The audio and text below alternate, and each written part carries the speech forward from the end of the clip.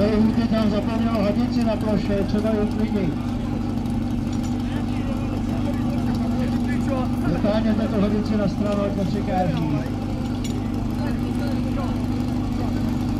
Takže můžeme startovat. Děkuji.